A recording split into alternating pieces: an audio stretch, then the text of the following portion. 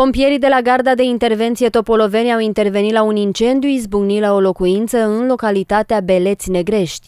La sosirea pompierilor ardea o anexă de aproximativ 20 de metri pătrați și acoperișul casei pe o suprafață de 60 de metri pătrați, afectând și camerele din interior. Intervenția promptă a pompierilor a făcut ca incendiul să nu se propage și la locuințele învecinate.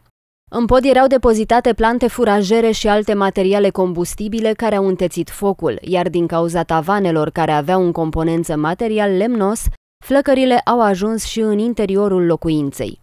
În urma incendiului, proprietara locuinței și o vecină au suferit atacuri de panică și au fost asistate de către paramedicii Zmurd, nefiind necesar transportul la spital.